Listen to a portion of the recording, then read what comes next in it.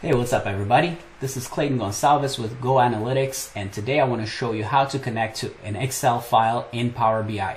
So let's take a look at my laptop and I'll show you how to do that.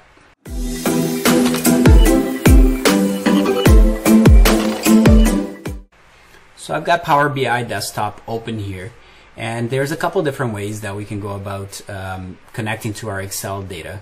The first and the easiest way is just to click on Excel workbook here right from the home tab uh, and this will open up the, the directory for us to connect to our data. The second option is to click on the get data option and this will open up all of the different data sources that we can connect to in Power BI. And you'll see that one of the top ones, since it's the most common one, is an Excel workbook. So we'll just hit connect and it'll open up our file directory and we can choose which file that we want to choose from.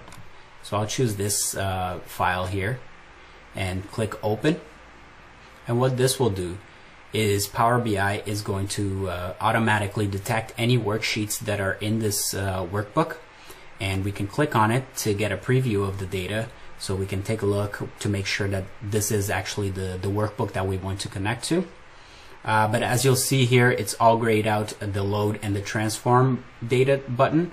And that's because we haven't actually selected this yet. So we actually need to click on this little checkbox to make sure that we're selecting this sheet and that we want to load this data to our model. Now we have the option of loading our data or transforming our data. So the difference here is that loading the data will load it to our data model as it is Whereas if we click transform data, this will open up the Power Query editor and we'll be able to uh, clean up our data and make any uh, transformations before we load the data. So this data is fine. So I'll just click load and we'll see how that propagates into, uh, into the Power BI desktop app. So after Power BI has done its thinking, uh, we'll be able to see our sheet one here from our Excel um, file.